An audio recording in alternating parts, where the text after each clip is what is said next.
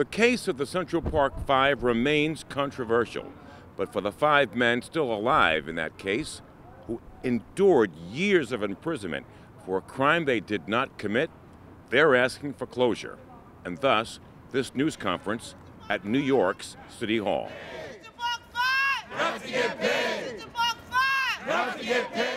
There is now a call for reparations of sorts. The case of the Central Park Five was one of racial overtones in a then crime plagued city. A white female resident and a financial district worker brutally raped and beaten in New York Central Park. It shocked the city with the arrest of five young black male suspects, all of them teenagers. The story dominated the headlines for months, leading to a trial, and each man later found innocent, was convicted and sentenced for a crime they did not commit. One of the five was Raymond Santana, who asked, Where's our justice? We have seen five mayors now. Where's our justice? When is it time to finally close this case? And we're not here to speak about money. We're here to speak about closure. We're here to speak about healing. It was not only healing, but bringing what has been a nightmare to an end, said Kevin Richardson. We want to put a closure to this whole situation because it's been too long. They thought we would not be here speaking. They thought we would be six feet right now or still in the prison cells. But God sees evil. He sees everything. And I just want to say that uh, we're going to keep fighting until this thing is closed. That's right. And I love everyone for, for being here but it's not over because the struggle still continues. Everywhere else is another Central Park 5. There's a Central Park 5 everywhere. So we must put a closure and a stop to this before this happens again. One way of ensuring that, said attorney Michael Warren, is to keep issues of injustice in the public eye.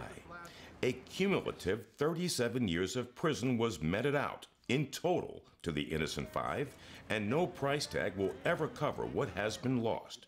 Yet, Warren told Sahara Television, We've sued for 50 million for each, uh, including uh, their families as well, because they suffered. Uh, but, but I think that, that what I tried to illustrate uh, is, is that you can never ever reclaim the value uh, of what was snatched away from you. And here, the value of what was snatched away was a childhood.